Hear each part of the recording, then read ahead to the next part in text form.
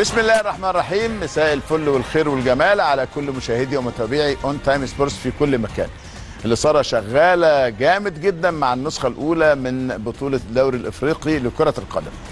آخر مباريات دور أو آخر مباراة الذهاب في دور الثمانية أعزائي المشاهدين هتكون بعد قليل بعد نصف ساعة أو أقل من الآن.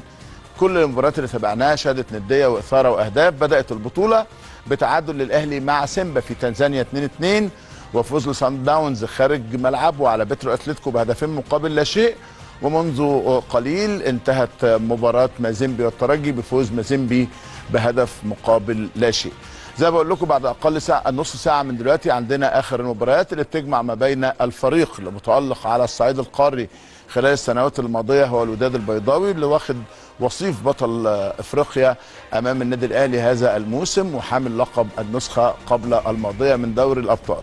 هيكون في ضيافة فريق أنيمبا النيجيري على فكرة أنيمبا ده في وقت من الأوقات كان مارد كان عملاق كان كبير من كبار القارة السمراء لكنه في تراجع خلال السنوات الماضية على الصعيد القاري وده طبعا معروف لأنه معظم لعيبته بيحترفوا في الخارج لكنه بيسعى من جديد لاستعادة ولو بعضا من أمجاده الإفريقية.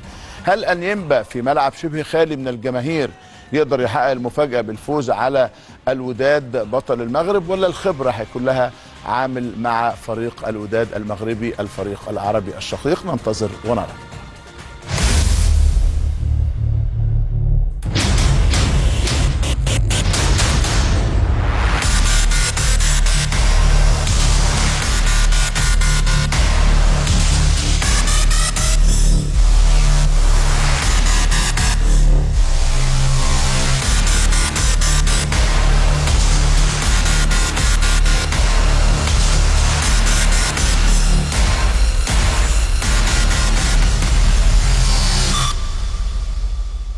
برغم فوارق الإمكانيات والخبرات لصالح الوداد لكن كرة القدم تظل هي كرة القدم والمفاجآت دائما وابدا واردة. يعني العقل والمنطق بيقول المباراة رايحة لصالح الوداد حتى لو كان بيلعب في ملعب أنيمبا لكن كرة القدم علمتنا دائما وابدا إن عندنا الكثير أو إنها تحمل وتحفل دائما وابدا بالكثير من المفاجآت.